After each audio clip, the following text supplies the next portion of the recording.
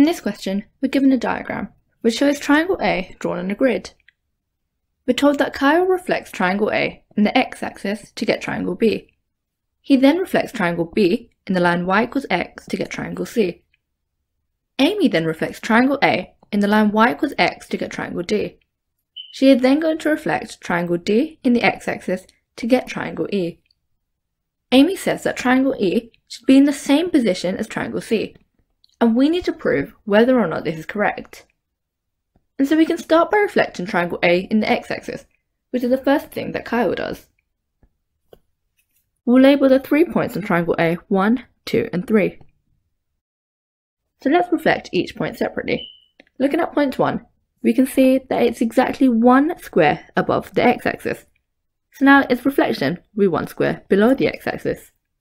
We can do the same thing for point 2. Point 2 is 3 squares above the x-axis, so looking for 3 squares below, we'll get the point right here. Finally, we have point 3. Point 3 is 3 squares above the x-axis at the point x equals 3. So let's do the same thing on the other side and go 3 squares below. And we'll label this point 3. We can now join these dots together. We can call this triangle triangle B, and this is a reflection of triangle A in the x-axis. Now we need to reflect triangle B in the line y equals x. So let's start by drawing the line y equals x on our diagram. So now looking at triangle B, we can apply the same principle of how we reflected triangle A in order to reflect triangle B. So we'll look at the diagonal line to get from point 1 to the line y equals x. So we can see that it travelled one diagonal, two diagonal, two and a half diagonals. So we can do the same thing now on the other side of the line y equals x. Half, and then another one, and then another one. So point 1 can be found at the point minus 1, 4. Now let's do the same for point 2. Following the diagonal we have 1, 2, 3, 3 and a half. And so doing the same thing on the other side, we have half, then 1, 2, and 3.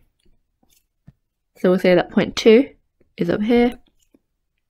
And then doing the same thing for point 3, we have 1, 2, 3 complete diagonals.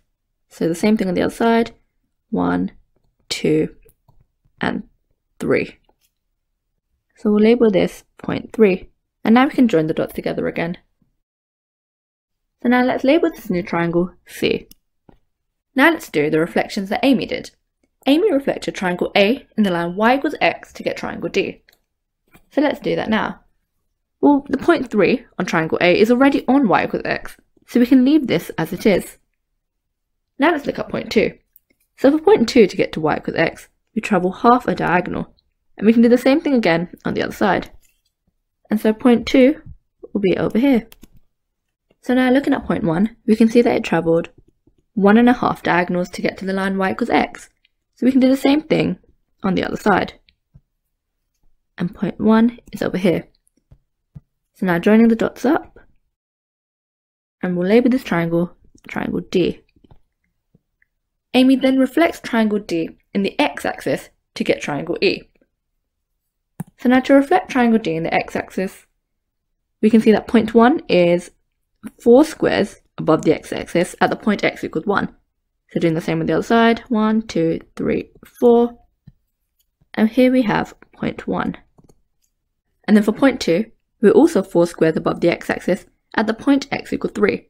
So to do the same on the other side, we can see that point 2 is at the point 3 minus 4. And then finally, point 3 in the x-axis, it's 3 squares above the x-axis at the point x equals 3. So to reflect this, we have at the point 3 minus 3, and we'll label this point 3, and to join these dots together, we'll end up with triangle E. So now in order to make this diagram a little bit clearer, we'll get rid of all the dotted lines, so we can see exactly where the triangles are. Now that we've removed the dotted lines, we can clearly see triangles A, B, C, D, and E.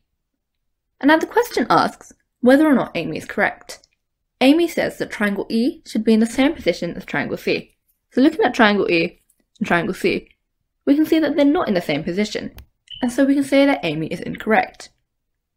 so we'll write this down in our answer box below. This question is worth 3 marks, so let's take a look at where these marks are allocated. The first mark is for the correct position of triangle C or triangle E, which we've shown in our diagram. The second mark is for a correct position of triangle B triangle D, which we've also shown in our diagram. And the third and final mark is for a conclusive statement saying that Amy is not correct with the correct supporting evidence.